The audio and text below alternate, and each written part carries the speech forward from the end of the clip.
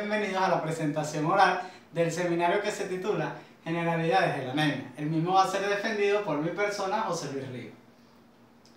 ¿Qué es la anemia? La anemia es un trastorno de la sangre que consiste en una reducción de los eritrocitos.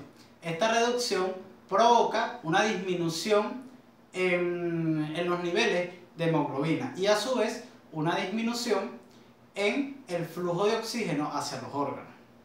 Por lo tanto, la OMS define esta enfermedad como una disminución de los niveles de hemoglobina por debajo de 13 miligramos por decilitro en los hombres, 12 miligramos por decilitro en las mujeres y 11 miligramos por decilitro en las mujeres embarazadas.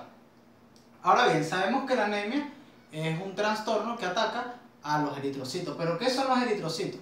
Son las células sanguíneas que se producen en los órganos eh, hematopoyéticos, ya sea el saco vitelino principalmente, luego pasa a ser el hígado y el vaso, y por último la médula ósea. Para que la médula ósea pueda producir eritrocitos, tiene que tener niveles adecuados de hierro, vitamina BC, B, B12 y vitamina B9. Hay que tener en cuenta que si hay un déficit en alguno de estos valores, se produce anemia. Los eritrocitos viven 120 días y cumplen su función del transporte de oxígeno a través de la hemoglobina. Ya sabiendo lo que es la anemia, hay que conocer los diferentes mecanismos que causan esta enfermedad.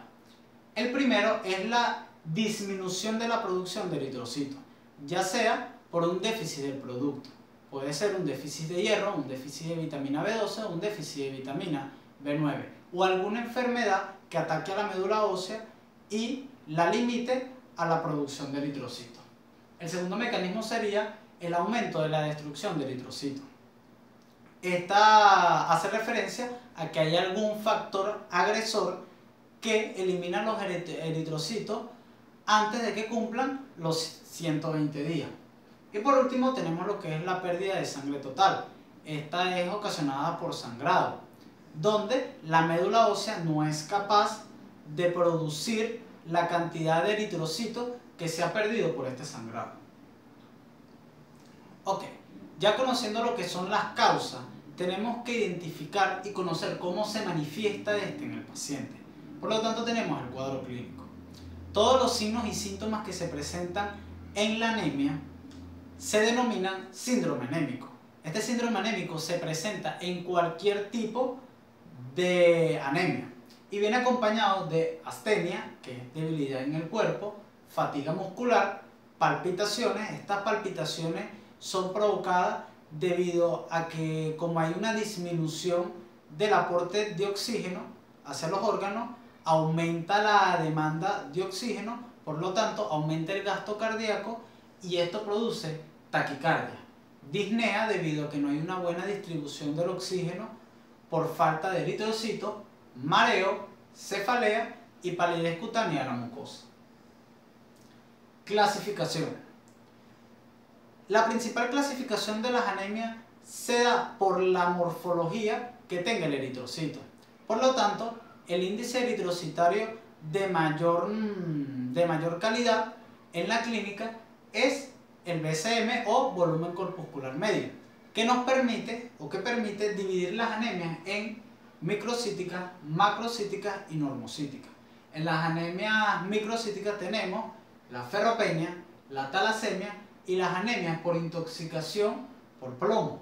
En las macrocíticas tenemos las anemias megaloblásticas, que son anemias causadas por un déficit de B12 o B9 y por último tenemos las anemias normocíticas, que son aquellas que están asociadas a enfermedades crónicas o las hemolíticas. Ok, principalmente tenemos lo que es la anemia ferropénica. Esta se conoce o se considera una insuficiencia de los eritrocitos para transportar oxígeno provocada por un déficit de hierro. Este es el tipo de anemia más común y su etiología, es decir, es causada por una disminución del aporte de hierro, ya sea por una dieta inadecuada, también puede ser causada por una disminución de la absorción por problemas en el duodeno. Recordemos que el duodeno es el sector del intestino delgado que se encarga de la absorción del hierro o por un aumento de la pérdida. Esto, puede, esto hace referencia a sangrados crónicos, menstruación o, o pérdida ginecológica. En cuanto a la presentación clínica tenemos estomatitis angular, que es una dermatitis que se origina cerca de la boca. Tenemos glositis, que es la inflamación de la lengua, coiliniquea, coiliniquea que es las uñas en forma de cuchara y pica, que es un impulso de, del consumo de no comestibles. Por ejemplo, aquellas personas que comen tierra. Esto se ve más que todo en los niños, pero esto no quiere decir que todos los niños que consuman tierra sufren de anemia, ya que muchas veces lo hacen por curiosidad. El diagnóstico. El diagnóstico se basa en la clínica acompañada de laboratorio y el BCM. El volumen corpuscular medio se verá disminuido y va a arrojar anemia microcítica hipocrómica. En los laboratorios, la ferritina se verá disminuida, la transferrina elevada y el hierro sérrico disminuido. Por último tenemos lo que es el tratamiento. El tratamiento ambulatorio consiste en tratar la causa, enfocarse en la causa y el suplemento de hierro. Como lo es 60 miligramos diario por vía oral hasta que se logre establecer un valor normal de la ferritina. Ok, por otra parte tenemos lo que es la anemia megaloblástica. Esta se conoce o consiste en la insuficiencia de los eritrocitos para transportar oxígeno por un déficit de vitamina B12, B9 o ambos. Esta es causada, eh, o su etiología, tenemos que si esta anemia es causada por un déficit de vitamina B12, tenemos el mecanismo de la disminución de la ingesta. Esta se da por aquellas personas que son vegetarianas estrictas o por una disminución en la absorción.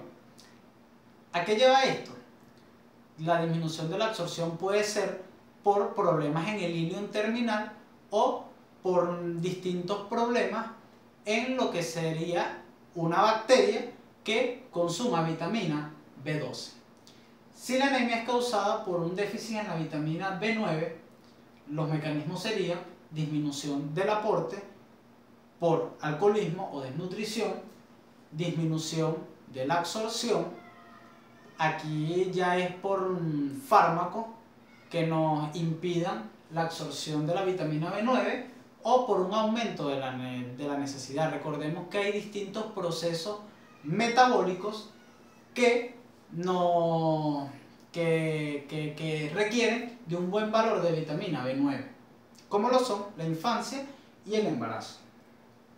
Ok, el cuadro clínico viene acompañado de síndrome anémico, glossitis y trastornos neurológicos como enfermedades que pueden, enfermedades que alteran la capacidad sensitiva y motora mayormente de las extremidades.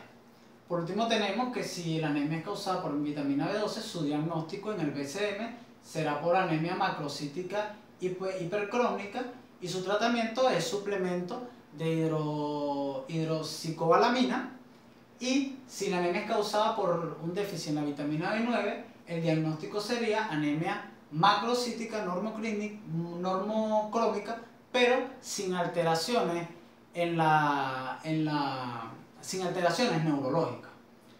Por último tenemos lo que es el tratamiento, que es suministro de ácido fólico de 1 a 5 miligramos diarios durante 4 meses. Y bueno, muchas gracias, esto fue todo, espero que les haya servido la información.